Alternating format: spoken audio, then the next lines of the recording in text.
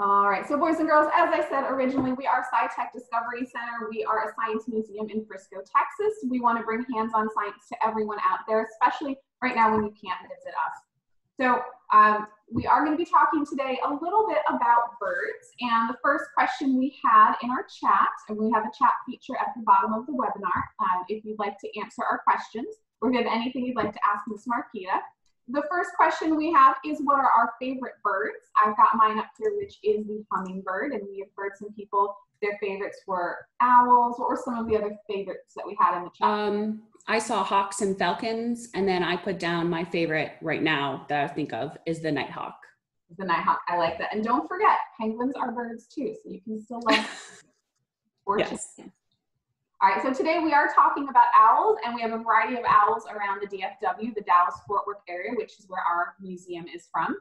So we have great horned owl, barred and barn owl, long-eared, short-eared, burrowing, and eastern screech owl. And all these owls have different sounds.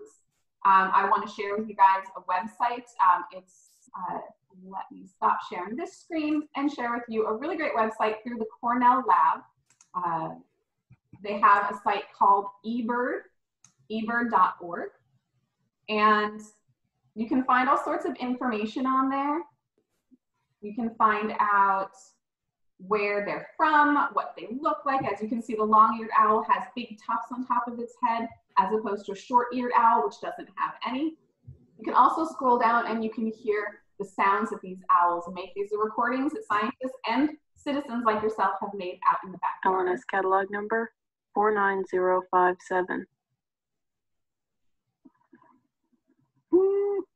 You got that nice typical hoot for a long-eared owl. Screech owl has, as you would think, a screech sound to it. Um, now we have the barred owl. It has that name because of the white stripes on its feathers make it look like bars across it. And the barred owl has a completely different sound. And I'm, I'm playing these you because I'm going to quiz you in a second. There's been a mysterious owl in my yard, so we have to identify it. Here's the barred owl.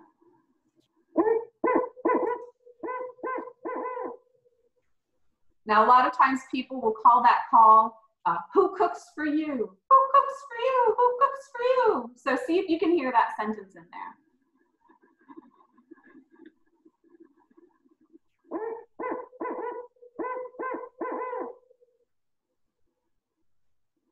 I'm not entirely sure I heard the words who cooks for you, who cooks for you, but a lot of people claim that they've heard that. We have the barn owl. Uh, you can tell that one has that nice disc, nice disc-shaped face that allows the sound to get captured almost like a satellite dish and go around to the sides for its ears. And the barn owl is often found in a barn.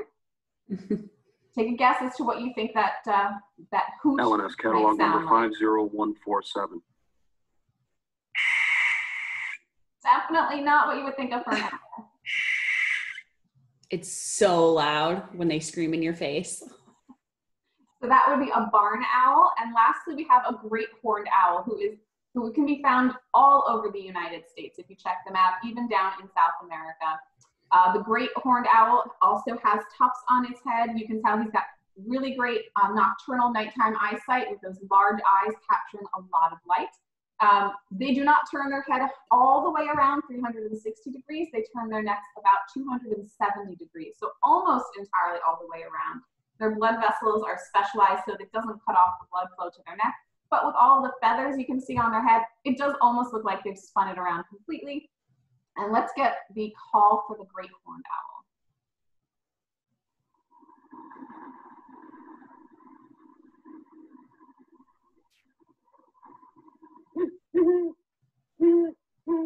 It almost sounds like a stutter, like they're trying to get the first hoot out, like a hoot. Stutters just a little bit.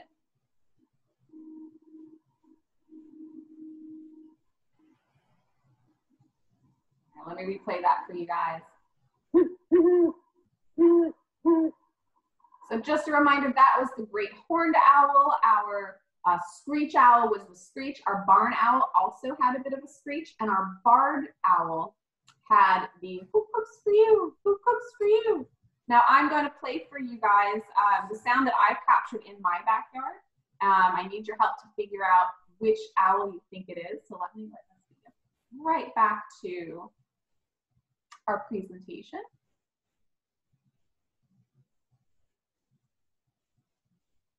All right. So we've heard the sounds from a couple of different owls. Now we're going to see if we can figure out, we've gone to uh, our eBird website, we've listened to all of the different sounds. You can check it out by bird or even just region if you've heard a noise and you want to see who it could be in your region. We've heard the great horned owl, the barn owl, the barred, the long-eared. We've also, earlier we heard the burrowing, the eastern screech. So who is in my backyard? I'm gonna play that sound for you and then guess in the chat room who you think it is that's been in my backyard.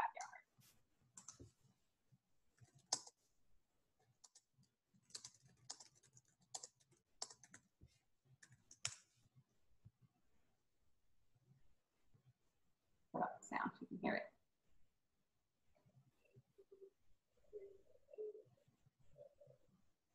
And it sounds almost like two of them calling back and forth to each other.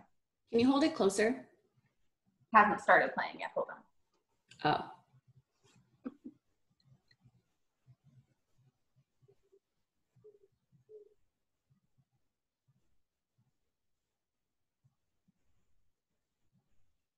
Let's see if we can get it.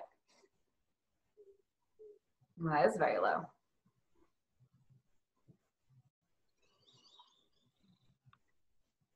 All right, let me try that again.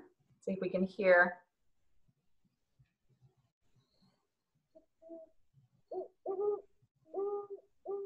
Could you guys hear that? That's better. All right. Any guesses as who you think that was who's been in the backyard? It was a hoot, hoot, hoot, hoot. A hoot, hoot, hoot, hoot. All right, type in your guesses as who you think it is. So one person guessed the great horned owl, but let's see if anybody else has a guess. All right, so it's definitely not the screech owl with that screeching sound. Great horned Not- owl. Not the barn owl, because that Great horned owl. All right, we got a lot of guesses for great horned owl. All right, we're guessing the, we're not getting anyone to guess the who cooks for you. All right, so I, I did a little research and it turns out. Catherine said big owl. The, a big owl, yes, it is the great horned owl who is a big owl. That is the one that's been in my backyard. All right. So um, we, I, I did want to attract that animal here, so I wanted to build a nest for him. Um, I went to another section. Nest Watch is also part of the Cornell Lab, and if you go on this website, you can look up a specific owl. You can find out how to attract it, how to construct whatever you would like, whether it's a nest box, a nest cone. You can download those plans. You can even find out if that species is in decline in your area. So it looks like the great horned owl is doing just fine in most of the United States, but their numbers are dropping um, up in this red region. So if you live there, this would be a great project for you guys. Then you can check out how high you need to put the box, how far away from other trees, what time, what type of year is the best time of year to do this when they're actually looking for a nest. And then you can start, you can get all sorts of tips on construction, but I'm gonna show you what I did.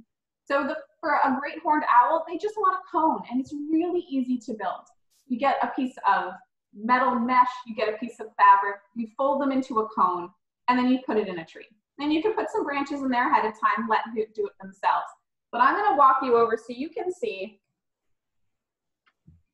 Let me bring my, my phone. If you guys can see right here, oh, I'm waving with my hand. If you wanna make this one the main view for your screen right here,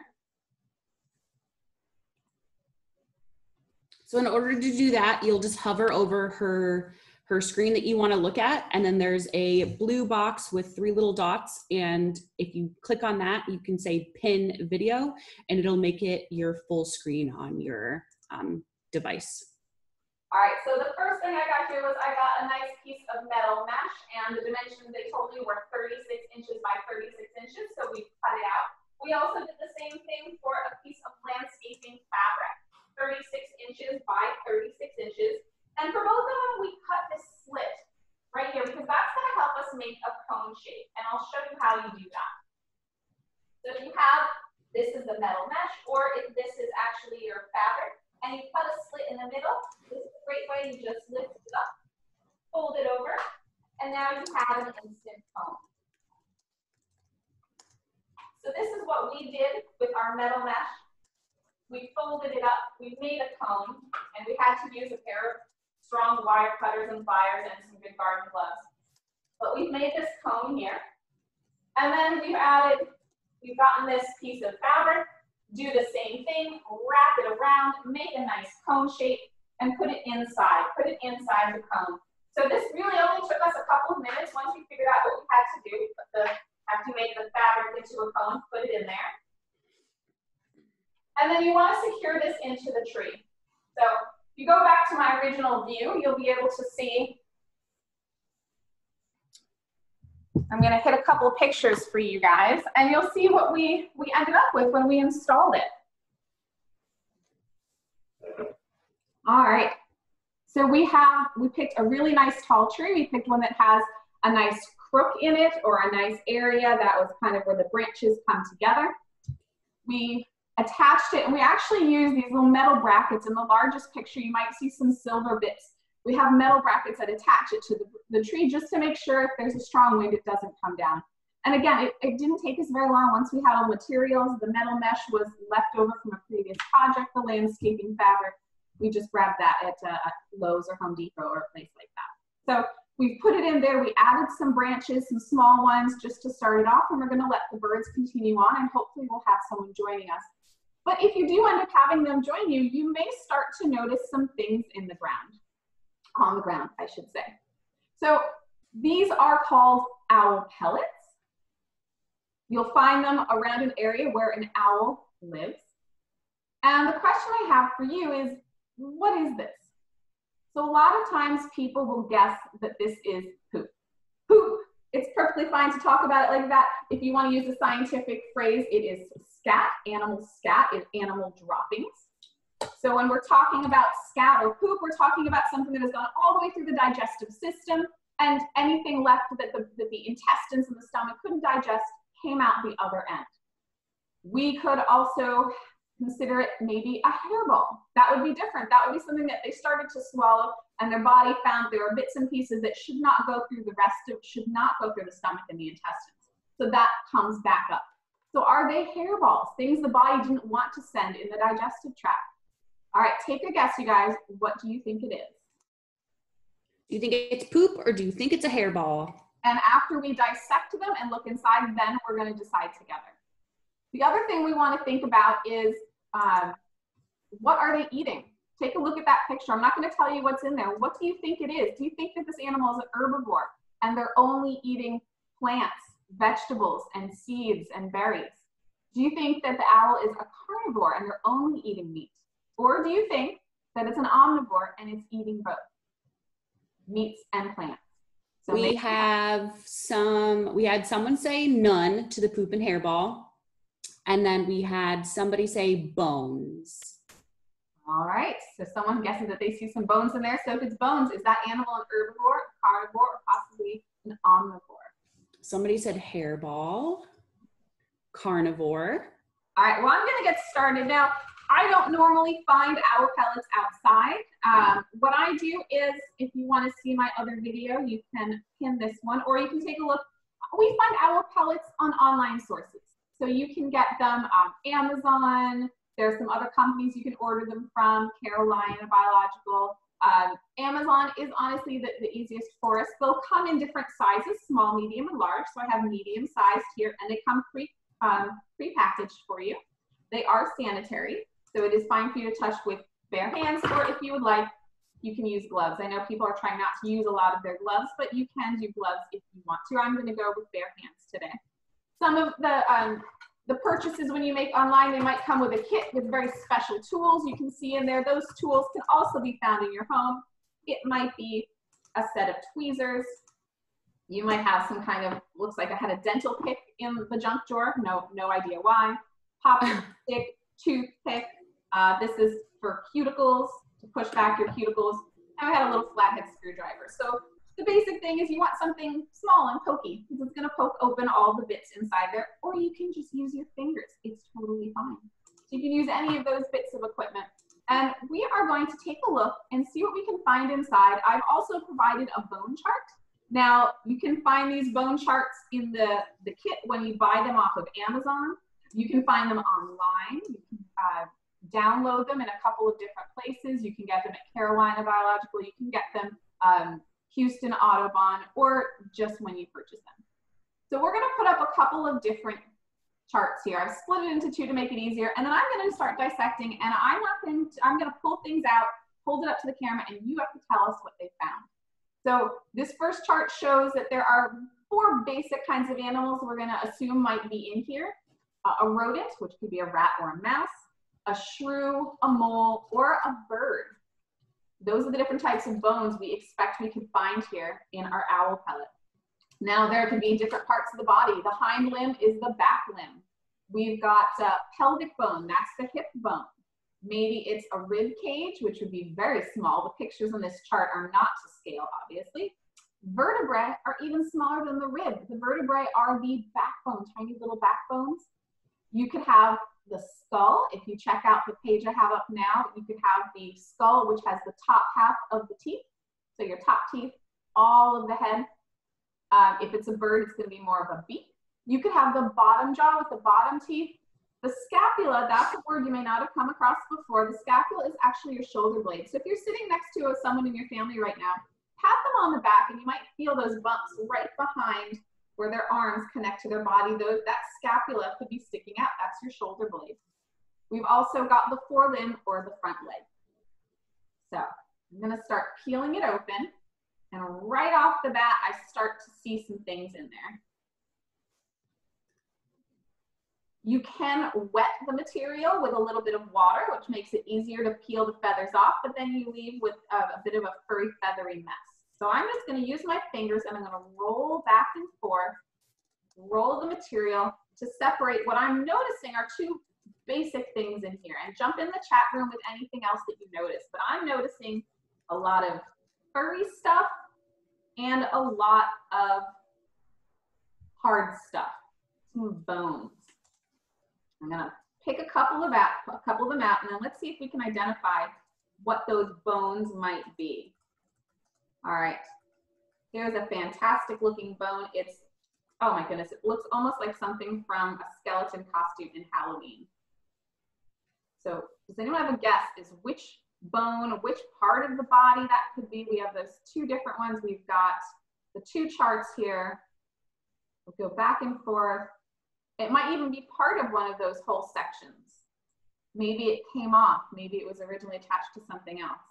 Does anyone have any guess as to what this bone could be? Type it in there. I'm definitely not a skull. I'm thinking it's either the forelimb, the front limb, or the back limb, the hind limb. I'm starting to think it might be the forelimb of one of our animals. Maybe the mole has very strange forelimbs, so not him. Could be bird or maybe rodents. So Miss There was somebody said that they saw bones and feathers, and somebody else said leg. All right, so I think we've definitely got a leg bone. Oh, this is an unusual one. Somebody said ribs. Ribs. All right, well, let's see what we've got here. This one, it looks almost like it's like the end of a sewing needle. It's got an opening on there, like the end of a sewing needle. Let's see, does anyone have, want to match that to one of the bones on one of our charts? We have a guess of, of pelvic bone, maybe with that opening, with that circle. Let's look at the pelvic bones. Which animal pelvic bone do you think it could be? A nice big opening. Hmm. Somebody said shrew. Shrew, yep, could be shrew. I think it could be between a shrew or a mole. It's a very long, skinny opening. Okay. So we could say shrew or mole, so we'll put that here. Uh, we do have this one that which looks almost like the swoosh from the Nike symbol. Swoosh? The swoosh from the Nike symbol. See, it looks almost like a toenail clippings, like a crescent shape. Oh. So let's take a look at our bone chart. Do we have anything that could be that crescent shape? Somebody said a mole rib. A mole rib. Oh yeah, look at those pictures. That looks just like a mole rib. All right, so we've had a guess of Hmm. a mole pelvic bone and a mole rib. Okay. All right, it sounds like we're, we're zoning in on an animal that was eaten. Right. Somebody said, or a wing. Oh, so Do you have any maybe that's the wings? shoulder, the scapula. That's possible. Now I'm noticing Maybe. Something in here. See if I can get it under the camera. It looks like two teeth. Oh, so that knocks out bird. Birds don't have teeth.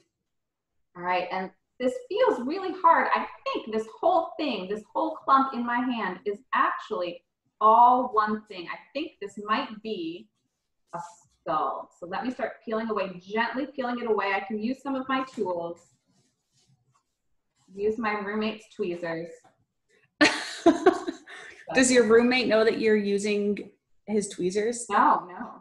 But that, that wasn't right. I should make sure that everyone knows what tools I'm using. That's right. Ask permission first. All right, so I'm starting to peel away some of this extra fluff. Whoops. And I'm still, and look at this. I've got this hard, shiny top bit. I think this is the top of someone's skull. All right, so let's see if I can clear off more of it. So let's take a look at our skulls and see what we've got here. We've got rodent skull, shrew skull, mole skull, and bird skull. All right, so we've got teeth, which means it's probably not a bird. And it looks like, try to get right under the camera. All right, it looks like I've got some top teeth and some bottom teeth. Let me uh, open the mouth, close the mouth, open the mouth, close the mouth. So let's take a look at those teeth.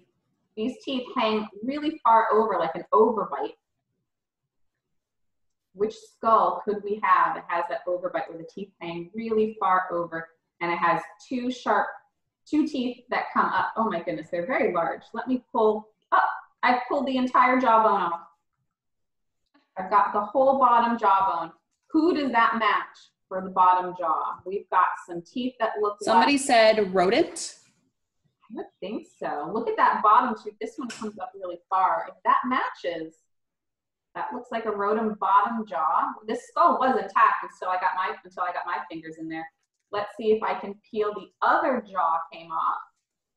One was from the left side of the face, one was from the right side of the face. Not all animals have jaws that come off like that, but now I've got the other jaw out here. Hmm. That look the same? They, they peeled off of the same skull, so I'm confident in saying those came from the same animal. I'm gonna put them here us to keep track of. And then I've got the top of the skull. Let's see if I can clear that off a bit more with more of this fur.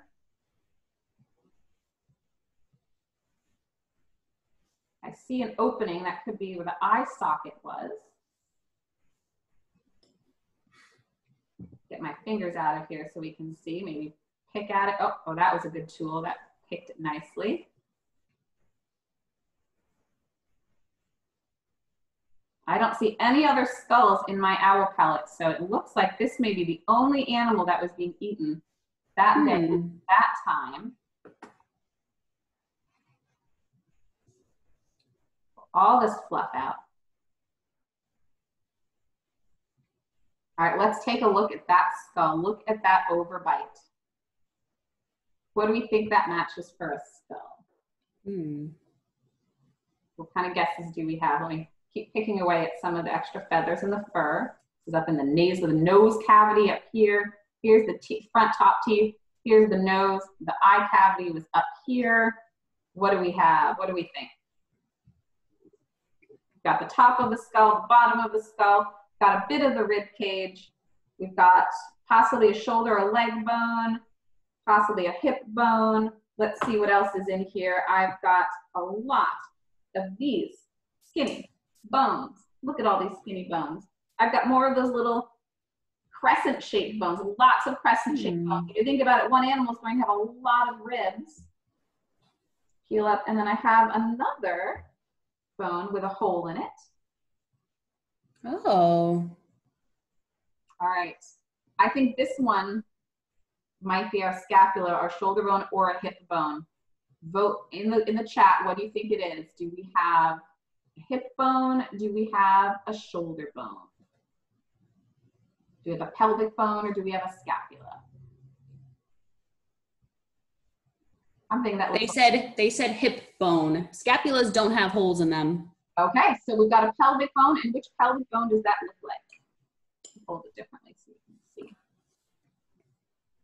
Pelvic bone. Which one does that look like? Hmm. Definitely not a bird. What do we think? Doesn't look like the rodent. Looks more like a shrew or a mole. What are our guesses in the chat box, Miss Marquita? Shrew or mole? Let's see. Hopefully not We're still saying shrew. Okay.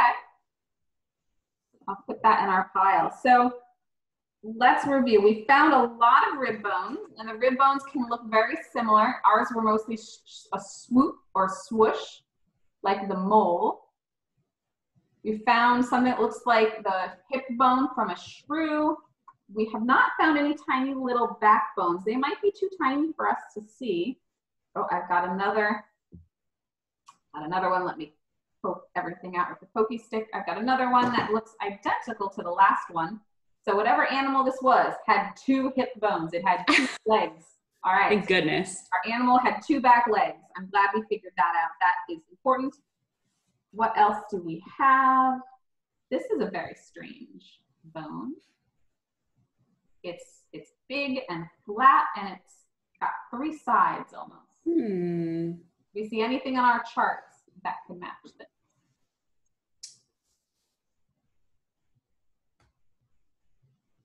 I think it almost looks, I don't know, maybe like a bird pelvic bone or maybe a strange scapula. I mean, it's a really wide, flat thing. What about our scapulas? Look at the, uh, the scapulas, the shoulder bones.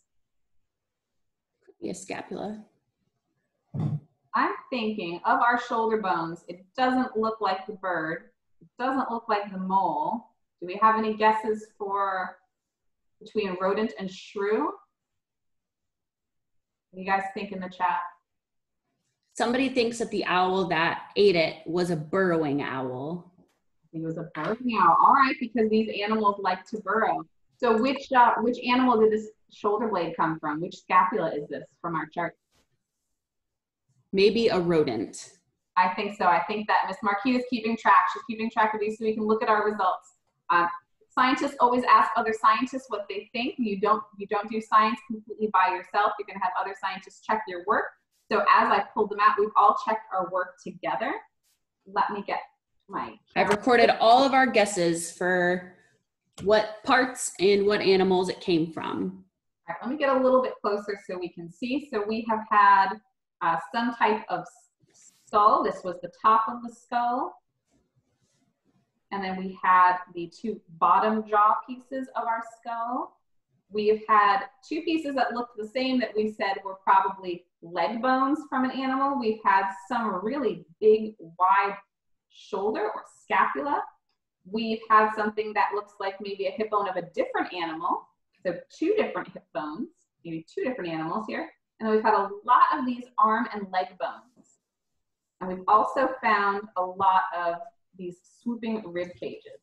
We have a few minutes left. Okay. All right, We so want to look at our results. more rib cages, lots and lots of rib cages.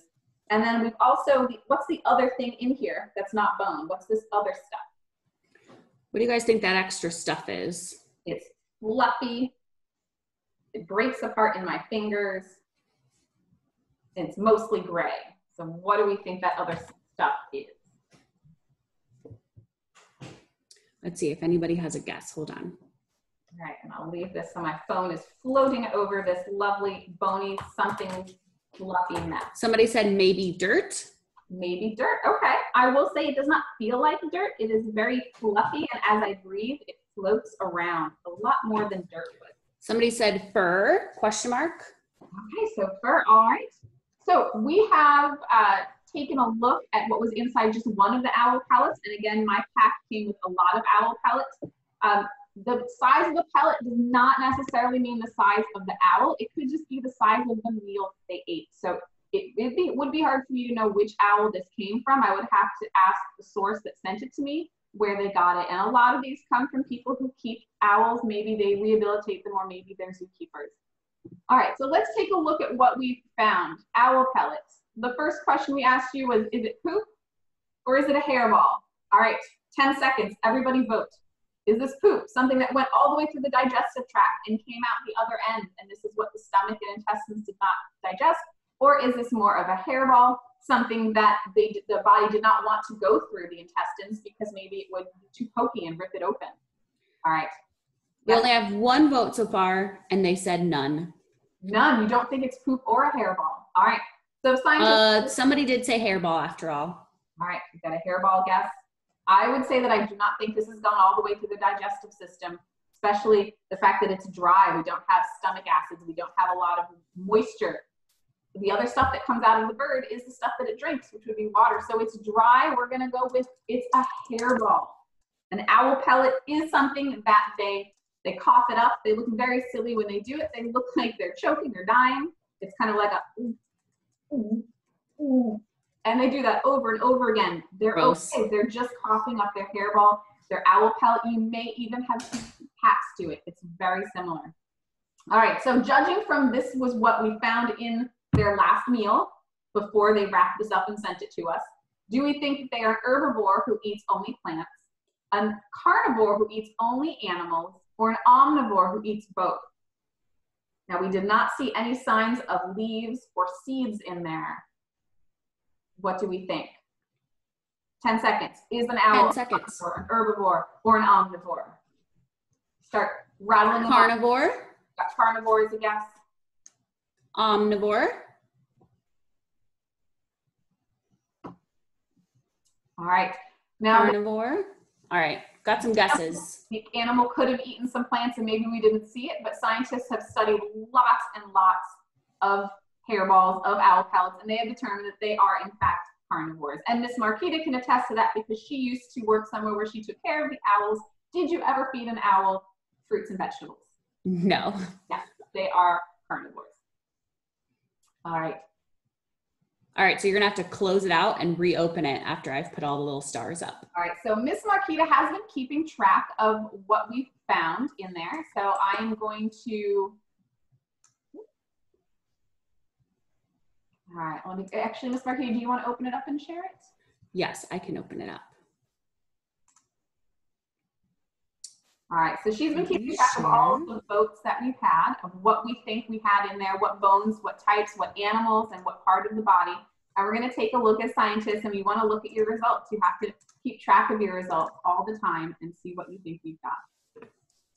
Bear with me, friends. I was using two different laptops at the same time. That's So right, I think I might be able to open it, Miss Marquita. All right, so let me share the screen again. oh, did you do it? Okay. All right, so Miss Marquita has put green stars on all of the types of bones we think we have found. So we think we found the back legs of rodents and shrews, the pelvic or the hip bones of rodents, shrew, and a mole. I definitely agree with the mole. That one really mole-like. And the ribs of possibly a rodent or a mole. I'm gonna say that it looked more like the mole, but that was just my opinion. All right, we also have the next chart to where we looked at some of the other bones and we found we found a scapula of a rodent, that is for sure. And we found the skull of a rodent. So that could be a mouse or a rat. So what do we have here? What has this owl been eating?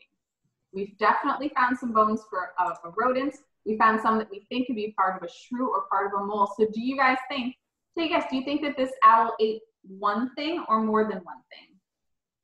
I will say we only found one skull in there. Hmm. Miss Marquita, would an owl spit up more than one owl pellet for a meal or just one owl pellet for a meal? Um, it depends on the size of the owl, Okay, uh, so- but typically um, it has to cough up the pellet before it can eat any more food. oh, okay. So it is possible that it ate more than one animal and it just coughed up a couple of pellets. Yeah, All right. I, I feel confident with the, the, the um, I a don't lot of people are saying more than one.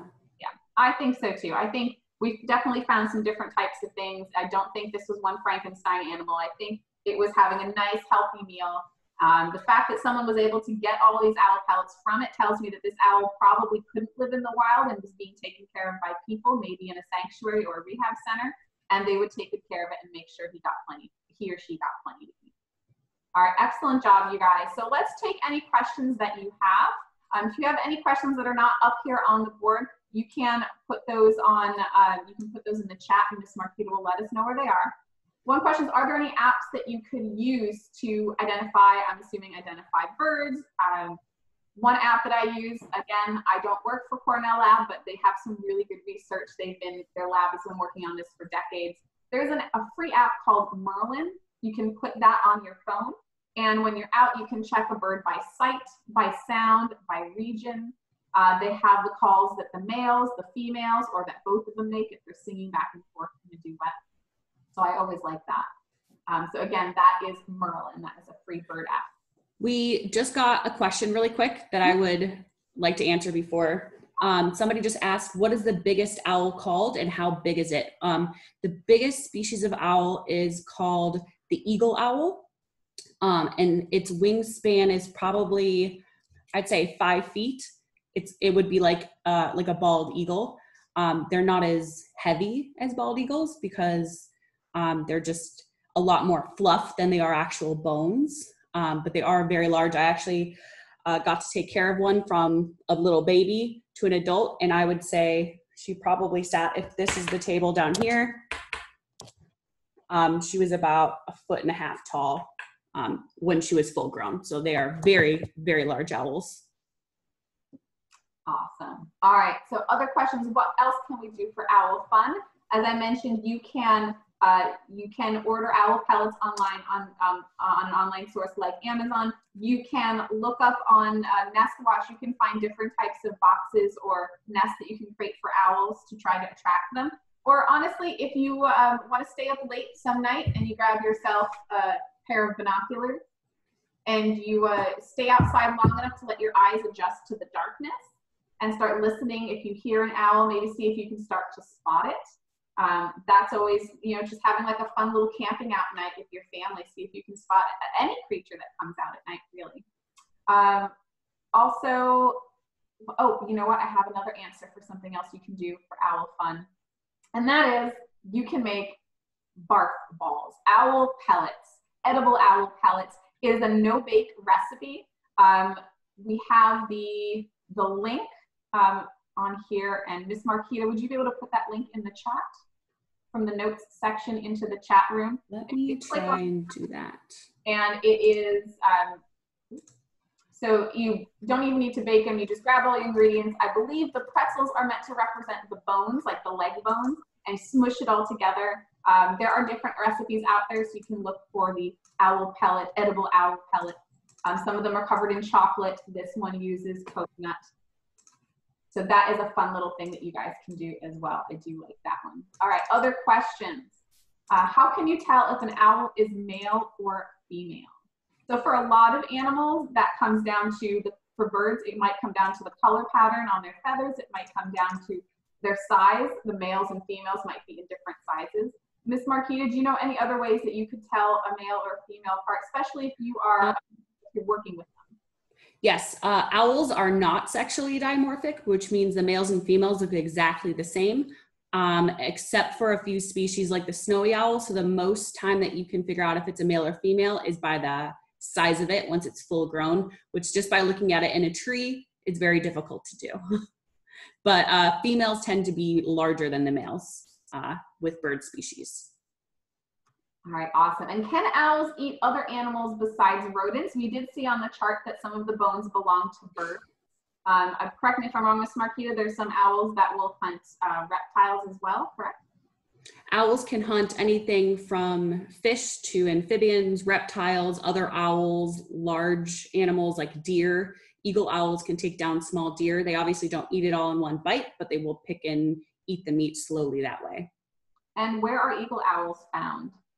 Uh, they're Eurasian eagle owls, so they're from the European areas. Oh my goodness. Or you guys can go onto um, eBird and try and, and, type it in and see where you can find them. So you're not going to be attracting eagle owls into your backyard, luckily. You will be fine. No. Were there any other questions in the chat, Ms. Marquita? Um, we, I think those were all of the ones. One of them asked, um, how often can or do owls have to eat? And the answer to that is as often as they can. Um, they're just like us. They they uh, use their bodies to heat themselves, so they have to eat very often. So if they can, they will hunt uh, every day to eat uh, a meal every day if they can. Right, that is awesome. Now I am going to turn off the recording